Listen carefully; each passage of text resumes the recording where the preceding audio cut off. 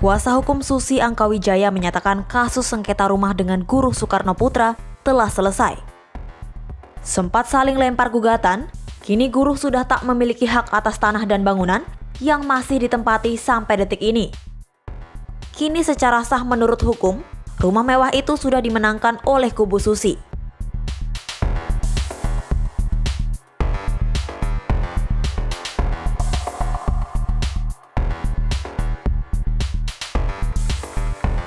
Sebelumnya, kedua belah pihak sudah melakukan jual beli rumah di hadapan pembuat akta tanah, notaris, dan sudah balik nama. Namun, guru disebut mengingkari kesepakatan itu.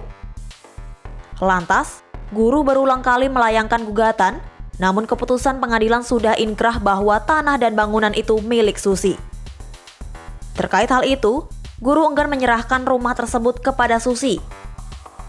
Di sisi lain, Susi pernah menawarkan guru untuk membeli kembali rumahnya senilai 50 miliar rupiah. Namun Susi memberi batas waktu pembayaran hanya selama sebulan. Guru dan Susi pun disebut menyepakati nominal itu pada 2022 lalu. Kendati demikian, pihak guru tak kunjung membeli kembali rumah tersebut. Menurut Redo, hingga kini pihak Susi masih membuka kesempatan Andai guru hendak menebus kembali rumah yang berada di Jalan Sriwijaya 3 Kebayoran Baru, Jakarta Selatan itu.